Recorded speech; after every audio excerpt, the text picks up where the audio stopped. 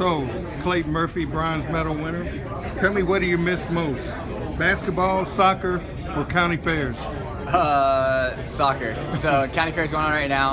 Uh, I miss that. It's a lot of fun, but missing playing soccer, and uh, that was kind of my childhood dream, I guess, when I was super little, was to be a soccer player. So I do for sure miss getting on the field and playing some soccer.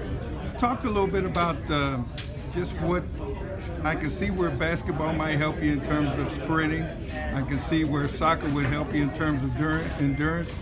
How'd the county fair help you win a bronze medal? So uh, I think honestly that I learned more skills and translated more skills from from living on a farm and growing up showing animals. It's uh, there's a lot of times where your parents are gone and you have to do the chores yourself, and I think that translates to kind of running. That I could have said, hey, I did my chores, I, I did what I needed to do, but then when it comes to the county fair and you present your your project, it, it might not happen the way that it should if you did all your chores. And I think that's with running. It's coach tells me go on a run, and I could easily say, hey, I don't I don't want to run, I don't want to go, so I'll just yeah, coach did my run, send him a text, say it, and then when I go to the race, it's or go to the next workout, it's not what I need to be, and he can tell that I didn't do what I needed to do. So uh, those kind of working behind the scenes, doing what I